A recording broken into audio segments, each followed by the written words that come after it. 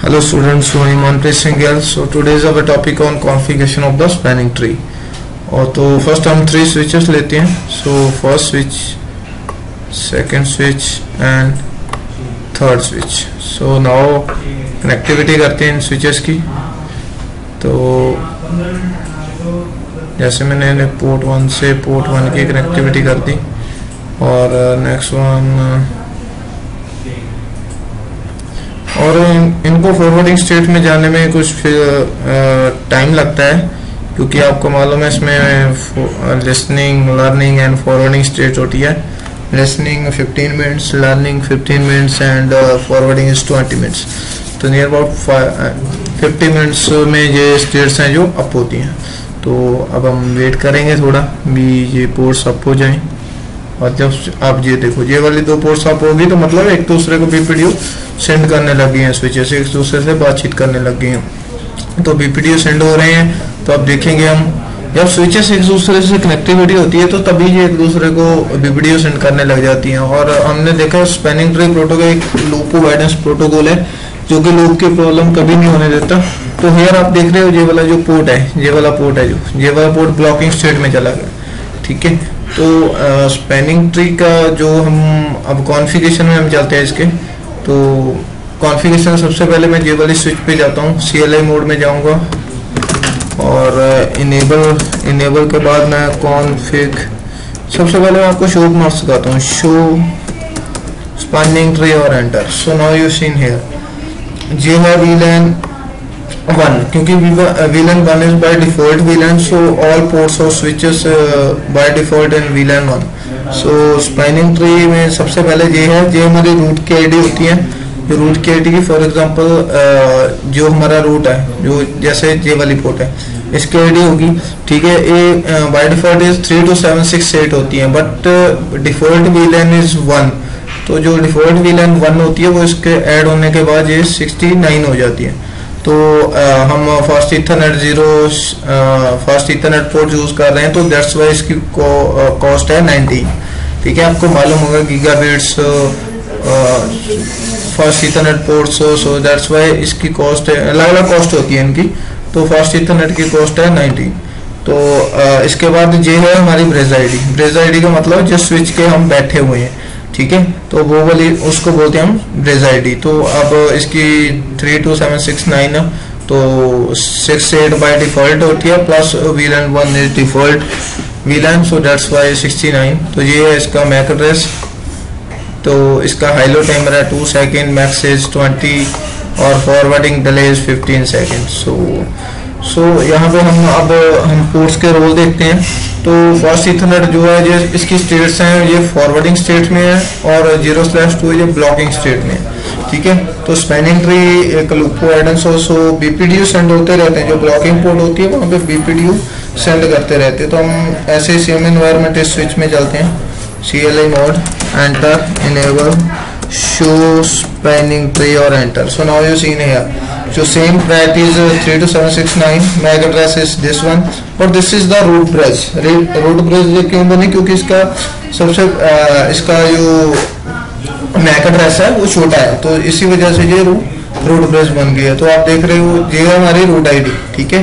तो ये हमारी ब्रेज आईडी ब्रेज आईडी आपको मतलब जो स्विच के हम बैठे हुए हैं वो वाली होती है ब्रेज आईडी तो यहाँ पे आप देखिए इसका मैक एड्रेस और साथ के साथ ये हाइलो टाइमर दिया हुआ है मैक्सेज फॉरवर्ड तो इसमें एक बात हमेशा याद रखना, जो हमारी रूट रूट ब्रेज होती है, उसकी सारी की सारी स्टेट्स होती हैं, वो फॉरवर्डिंग स्टेट्स में होती हैं। और साथ के साथ यहाँ पे बताया बताया जाता है कि कौन सी ब्रेज है, वो रूट ब्रेज है। तो यहाँ पे लिखा this is this bridge is the root so this one is our root bridge root bridge में दो चीज़ें होती हैं तो प्रायरिटी होती है, एक मैक होता है। ठीक है? और प्रायरिटी और मैक दोनों को मिलके मतलब कि दोनों की सिलेक्शन के बेस्ड ये जो स्विच है, वो रूट ब्रिज बनती है।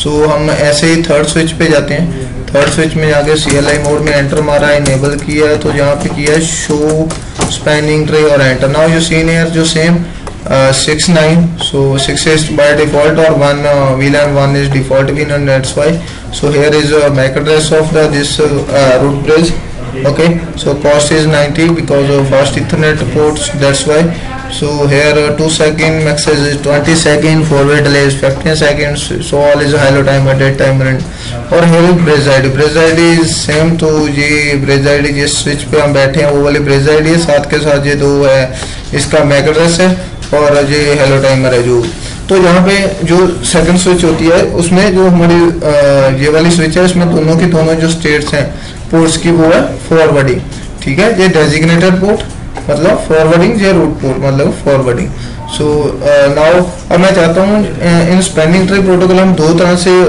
वर्क करवा सकते हैं। एक तो हम इसको बोल सकते हैं कि आप मैनुअली इस स्विच को बोल सकते हैं कि आप मैनुअली uh, मतलब uh, कि रूट आप खुद रूट बन जाओ। आपको रूट प्रेस नहीं आप रूट रूट पोर्ट बन जाओ या रूट स्विच बन जाओ। तो जैसे और एक होता है हमारा जब किसी भी, जैसे फॉर एग्जांपल ये वाली स्विच हम इसकी प्रायोरिटी चेंज करके इसको रूट ब्रेस बना सकते हैं। हम दो तरह इसको बता सकते हैं, वो कैसे होता है, वो मैं आपको एक्सप्लेन करता हूँ। तो सबसे पहले मैं स्विच पे जाता हूँ। तो इस स्विच पे जाने के बाद मैं जहाँ पे कॉन्फिग टी लिखता हूँ एंटर मारता हूँ। यहाँ पे लिखता हूँ spanning tree question mark you seen here question mark करेंगे तो मोड आ जाएगा पोर्ट फ़र्स्ट आ जाएगा वीलैन और हम हम वीलैन की बात करेंगे। वीलैन और क्वेश्चन मार्क तो वीलन बाय डिफ़ॉल्ट हमने, क्योंकि हमने देखा है, ऊपर हमने देखा है जो आपने देख रहे हो। यहाँ पे हमने देखा है कि बाय डिफ़ॉल्ट वीलन वन है so that's why so here is VLAN one space question mark so now यहाँ पे आता है रूट हम सबसे पहले रूट से चलते हैं। रूट के बाद स्पेस करते हैं तो यहाँ पे एक आता है प्राइमरी और सेकेंडरी प्राइमरी का मतलब सेकेंडरी का मतलब क्या होता है? सेकेंडरी का मतलब जब प्राइमरी रूट हमारा डाउन हो गया, उसके बाद ये उसकी रिस्पॉन्सिबिलिटी ले लेगा। तो हम यहाँ पे क्या करते हैं? प्राइमरी लिख देते हैं तो एंटर मार देते हैं। अब देखते हैं इसका असर क्या होता है। अब इसका असर आप अब देख रहे हो ये वाला जो ये वाला पोर्ट है, ये ब्लॉकिंग स्टेट में चला गया। अब थोड़े टाइम बाद ये वाला पोर्ट अप हो जाएगा। और उसके बाद हम देखते हैं इसका क्या असर पड़ता है इसमें स्विच में। तो सेकंड हमारा है प्रायरिटी सो हम नेक्स्ट करते हैं। सो क्योंकि ये 50 सेकंड लेती है सो दैट्स वाई जो थोड़ा स्लो होता है क्योंकि ये अलग अलग स्टेट्स में जाती है first learning listening and then ये अप होती हैं। तो अब मैं करता हूँ यहाँ पे शो स्पेनिंग ट्री और enter so now you seen here this rule ये बन गई हमारी रूट ब्रिज और क्यों बनी? क्योंकि जहाँ से देखो, जिसने जब हमने प्राइमरी लगाया तो उसने, उसकी प्रायोरिटी को लो कर दिया, ठीक है?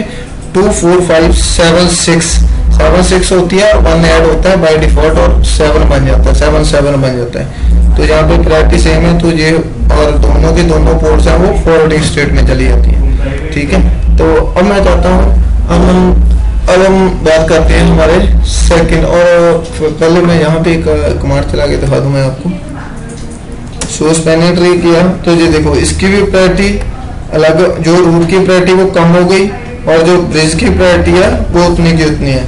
ठीक है तो जब वो प्राइमरी करते हैं तो उसके प्रायोरिटी पे असर पड़ता है। तो यहाँ पे आप देख रहे हो, ये वाली जो हमारी fast ethernet zero slash one है फॉरवर्डिंग स्टेट में चली गई है, और जो टू है, वो हमारी ब्लॉकिंग स्टेट में चली गई है। ठीक है तो अब हम बात करते हैं इसका सेकेंड स्टेप की। तो मैं सेकेंड स्टेप पे स्विच भी करता हूँ। तो सेकेंड स्टेप में क्या है? मैं वही कॉन्फिग की एंटर मारता हूँ? लेकर सॉरी एंटर सो यहाँ पे मैं कहता हूँ spanning tree question mark trick VLAN VLAN के बाद क्वेश्चन मार्क करता हूँ तो वीलेन मैंने वन ही रखी है, फिर क्वेश्चन मार्क करता हूँ तो आगे प्रायरिटी प्रायरिटी और क्वेश्चन मार्क करता हूँ। क्वेश्चन मार्क करता हूँ तो प्रायरिटी का इंक्रीमेंट होना चाहिए फोर ज़ीरो नाइन सिक्स तो फॉर एग्ज़ाम्पल मैं यहाँ पे क्या करता हूँ प्रायरिटी इसकी कर देता हूँ, पाँच हज़ार और एंटर मारता हूँ तो ये बोलेगा नॉट अलाउड नॉट अलाउड मतलब आप 4096 के इंक्रीमेंट से ही इसकी प्रायरिटी को सेलेक्ट कर सकते हो। फॉर तो आप देख रहे हो, हमने वहाँ पे देखा है, उसकी है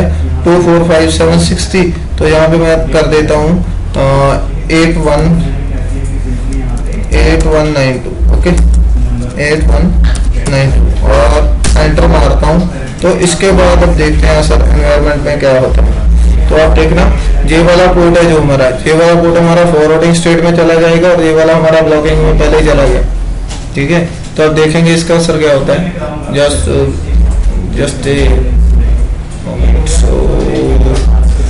देखते हैं। हम्म, तो, ये थोड़ा टाइम लगाता है। हाँ आप देखो ये वाला फॉरवर्डिंग स्टेट में चला गया ना तो अब हम देखते हैं स्पाइनिंग ट्री एंटर तो आप देख रहे हो ये वाला फॉरवर्डिंग स्टेट में और ये हम जब हम इसको रेडिकल सेट किया था तभी हम एंटर लगा देते तो वो हमारे को स्टेट्स पे जाता। फ़र्स्ट वो लर्निंग स्टेट सेकंड वो लिसनिंग फ़र्स्ट लिसनिंग लर्निंग और ब्लॉकिंग ब्लॉकिंग स्टेट में ठीक है? तो अ, अगर फॉरवर्डिंग स्टेट में मतलब this bridge is the root so that's why so इस तरह ये स्पाइनिंग ट्री प्रोटोकॉल वर्क करता है, और spanning tree protocol by default Cisco switches के ऊपर इनेबल होता है। ये स्विचेस सिस्को स्विचेस और इसके ऊपर बाय डिफ़ॉल्ट इनेबल होता है। तो स्पाइनिंग ट्री में कुछ ज़्यादा नहीं है, बस इसी तरह ही स्पाइनिंग ट्री प्रोटोकॉल्स को वर्क करवा सकते हैं। So thanks for watching stop